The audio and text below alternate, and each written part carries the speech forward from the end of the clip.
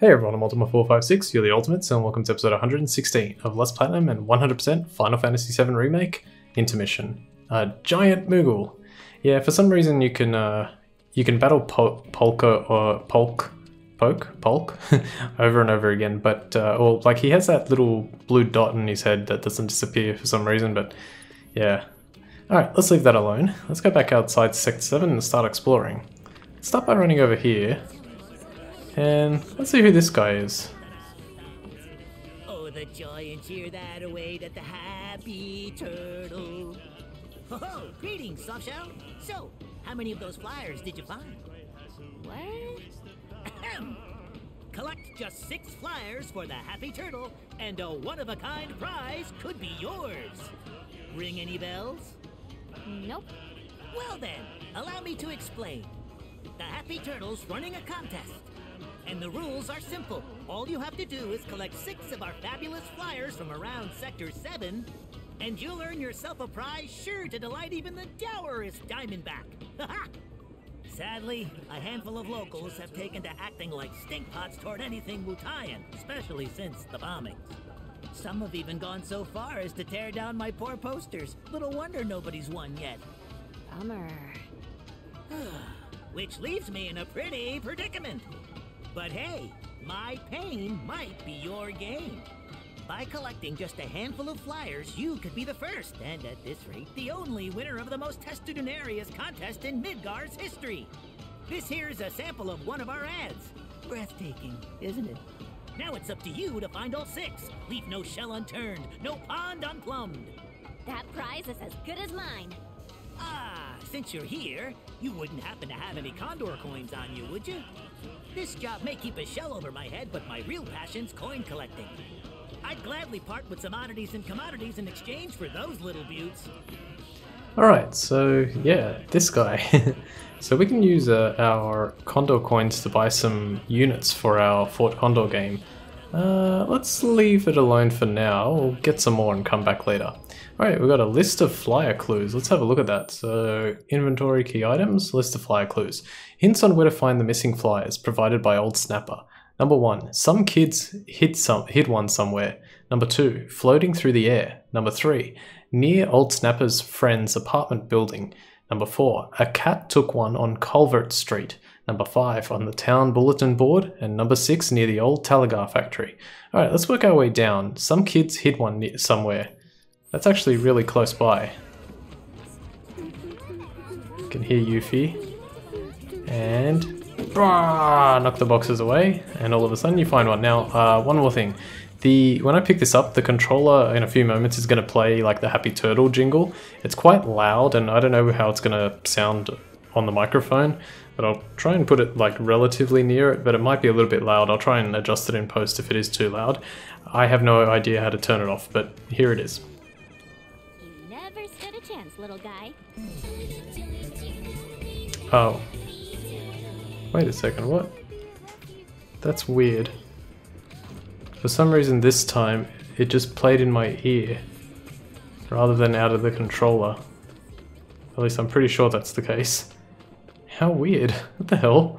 I was like, I've been practicing this like even just before and that didn't happen.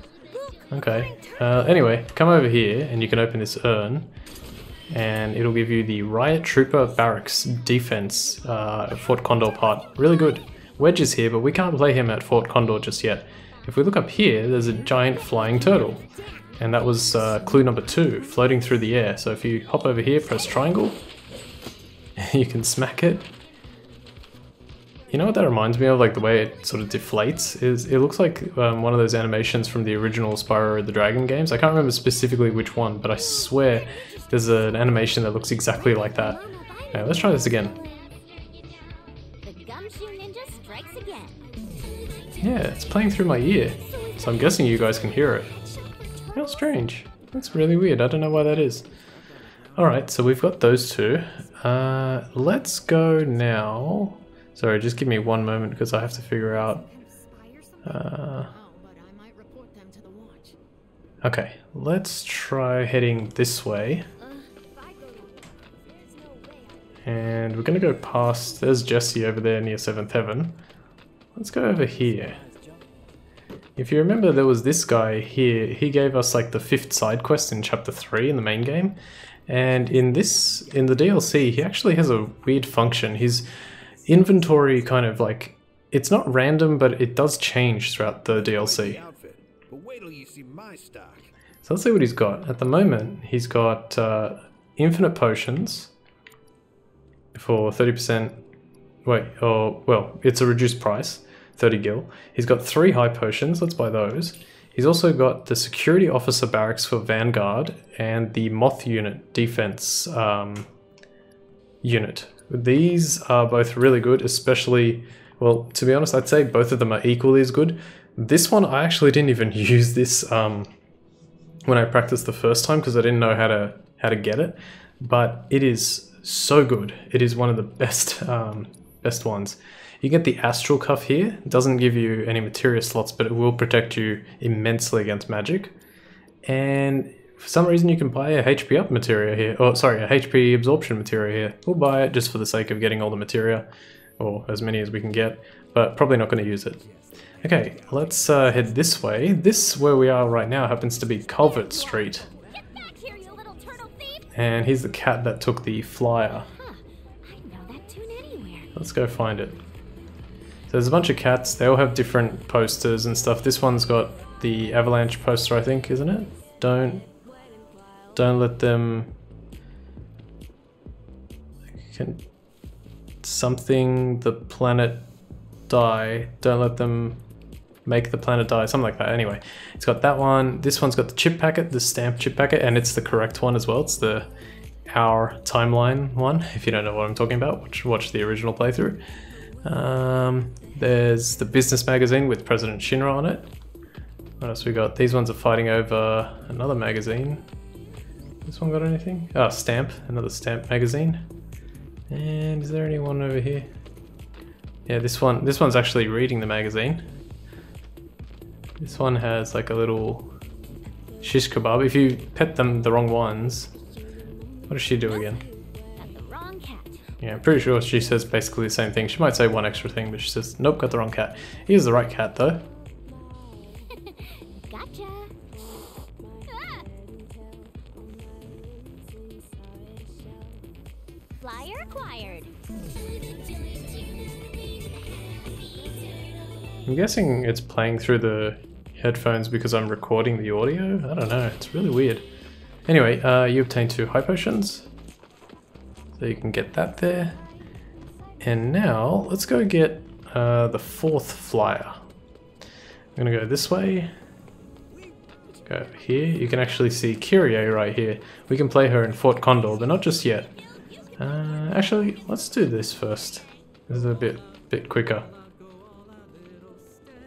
Someone's singing the Stamp song, and these kids are learning about Stamp.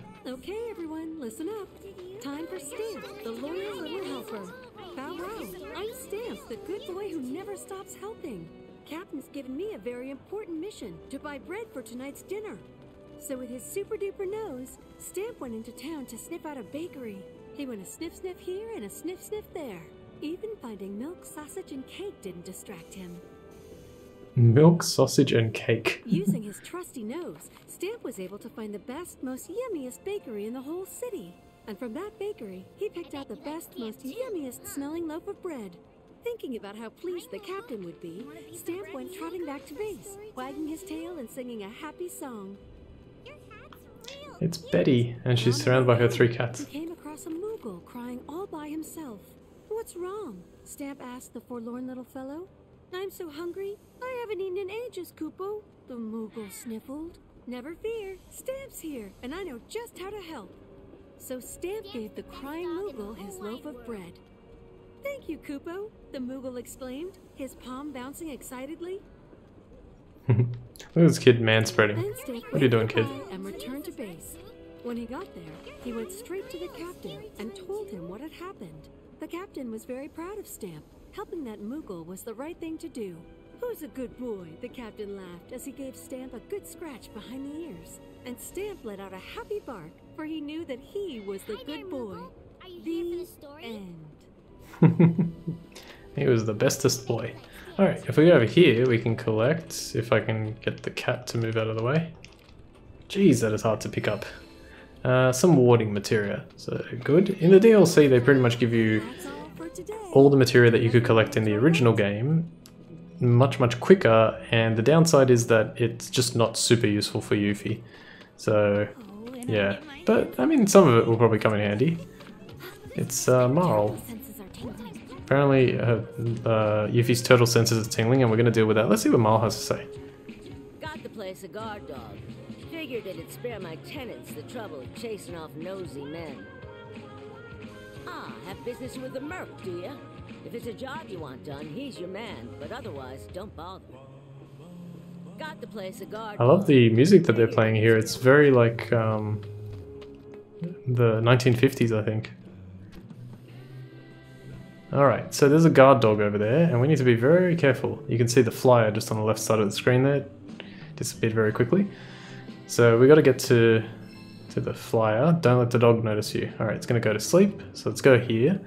Now, we're going to have to stay here. Yuffie will sort of change her stance. Okay, no, she's good. She's hiding. So watch the dog. He looks to the right, he looks to the left. Now he's gonna doze off. Oh, no, hang on, he's not gonna doze off quite yet. Right, left, now he's gonna doze off. Let's go here. So she's currently not hidden. Now she's hidden. Let's just stay right there. This music is so good. It's like Earth Angel, Earth Angel. Na, na, na, na, na. All right, don't hit the bucket and the mop. Go up here, pick up the happy turtle. What do you want with that exactly? Better yet, who are you? Heard some punks have been hassling the nice people at the Happy Turtle, ripping down their flyers. Are you one of them? Mm-mm. So you're trying to sneak a peek at the Merc? Not that I blame you. Boy's easy on the eyes, I'll give him that much. Uh, but cut your losses, honey, unless you like your men silent and emotionally unavailable. Merc's built a wall around himself so damn high even he can't see over it. He'll never tell you what he's thinking. And that attitude of his. I tried to get through to him, but would he listen? Would he? I'm really not here for whoever he is. Then what are you here for? For, uh, directions. But I'm all good now. Thanks. Man, I know a lot of like RPG protagonists and main characters hair defies gravity, but Miles is like next level. Sorry, Merc's not here. Okay, well, obviously, yeah, she's talking about Cloud. Let's climb up here. In the original game, I think there was a Phoenix down up here. Now, there's a Chakra materia. So that's good. Grab that, get out of here. Uh, and that one was, um, the flyer said, so this is interesting. It says, uh, near old Snapper's friend's apartment building. So if Tifa stayed here and Cloud stayed here and Marco stayed here and it's right here, then maybe Mar- Marco was the old man's friend, I'm guessing. But Marco was also one of those reunion people, so I don't know. Kind of weird to be friends with that guy. He's just like constantly going reunion Jenova. Here's um Chadley. We can't talk to him, but I'm gonna leave him for a little bit. We'll come back to him a bit later. I think it's time to do. Yep, it's time to do a game of Fort Condor, and we're gonna start things off by uh, facing off against Kyrie. And she's right over here. Attention! For three gil, you can play Fort Condor against the lovely Kyrie. Three gil. Oh, Kyrie. And actually, you know what? Uh, did I get? No, I didn't get any more Fort Condor coins. All right, let's give it a save. We'll be able to beat Kyrie not too without too much difficulty. You know the drill. You want to play? You gotta fork over. Hmm? What's your deal? And why are you dressed like a five-year-old? That's just weird. Uh, what are you talking about? This isn't weird. It's super cute. Super cute? More like super lame. Not as lame as Midgar. Huh? Just saying how much I was looking forward to playing Fort Condor. I could really use the training, you know?